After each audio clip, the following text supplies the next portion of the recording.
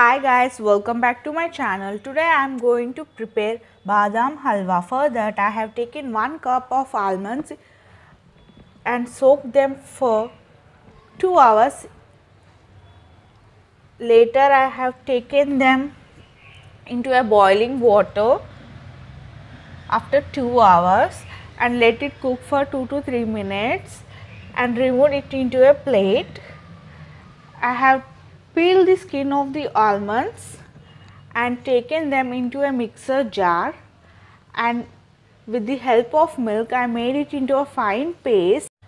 Meanwhile I have taken few saffron threads into a 1 cup of hot milk and kept it aside.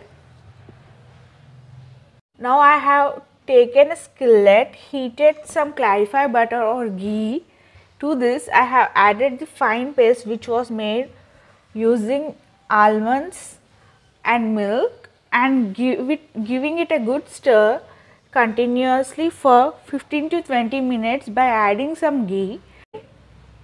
That paste to a powder consistency and at that time I have added 1 cup of sugar for 1 cup of almonds I have taken 1 cup of sugar and give it a good stir continuously. The powder consistency has turned to a paste consistency or the halwa consistency. At that time after all the sugar is melted I have added the saffron milk 1 cup saffron milk and let it cook for another 10 minutes. Even added half spoon of cardam green cardamom powder. Here I am taking the almonds into a cloth and rubbing it this way to remove the skin easily.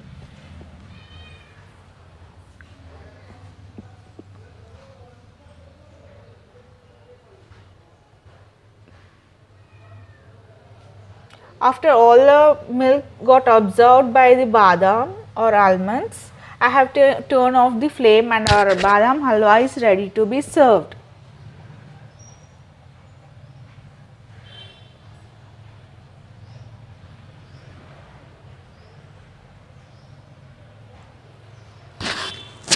If you are new to my channel, please subscribe to my channel.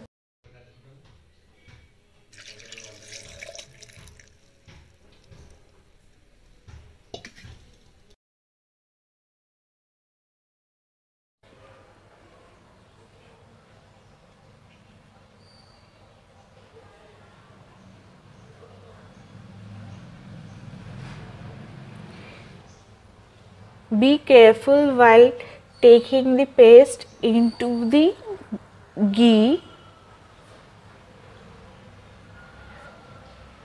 because the ghee is really hot.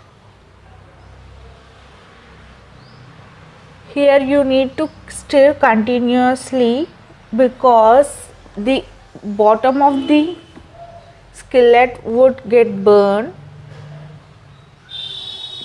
see this is the powdery consistency after 10 to 15 to 20 minutes of frying them in the ghee. At this time I have added 1 cup of sugar.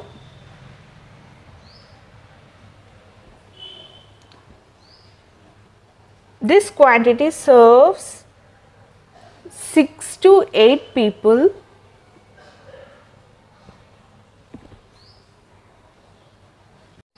you can always check the video description for ingredients and their quantity